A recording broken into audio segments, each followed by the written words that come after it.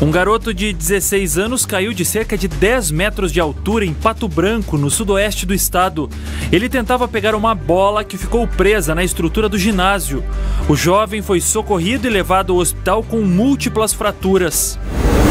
A Polícia Federal tenta identificar o funcionário de uma companhia aérea do aeroporto de Foz que colocou 2 quilos de cocaína na bagagem de uma passageira. A mulher foi presa e pode dar pistas do comparsa. Um homem ficou ferido ao ser atingido pela laje de um cinema desativado em Cascavel. Ele participava da demolição do prédio que tem mais de 50 anos. O operário passa bem.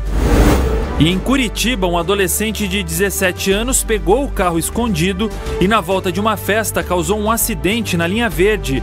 Das seis pessoas que estavam no veículo, apenas uma jovem de 16 anos ficou ferida, mas sem risco de morte. O menor bebeu antes de dirigir e foi levado para a delegacia.